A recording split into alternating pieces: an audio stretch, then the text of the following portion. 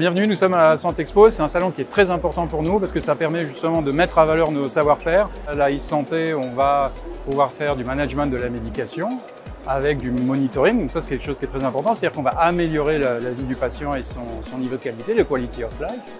On a un enjeu vis-à-vis de, des patients, puisque les patients changent, les maladies changent, parce qu'on a des traitements qui sont euh, très efficaces avant la chirurgie. Et on a donc des patients jeunes qui ont des pathologies très lourdes, qui arrivent à des âges maintenant beaucoup plus avancés. Il y a une nécessité aussi de se laisser augmenter. En fait, le sujet, c'est qu'aujourd'hui, on a des technologies pour augmenter le bloc, mais euh, il faut que les acteurs du bloc soient d'accord pour se laisser augmenter. Il y a tout un, il y a tout un accompagnement du changement qui doit être fait.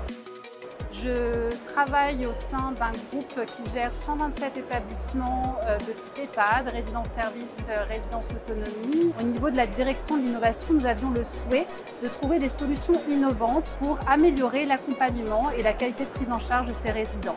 Pour ce fait, nous avons testé le robot Nao, un robot humanoïde avec une application SAMI euh, que l'on a complètement développé et co-conçu avec les résidents et des partenaires de qualité comme Capgemini.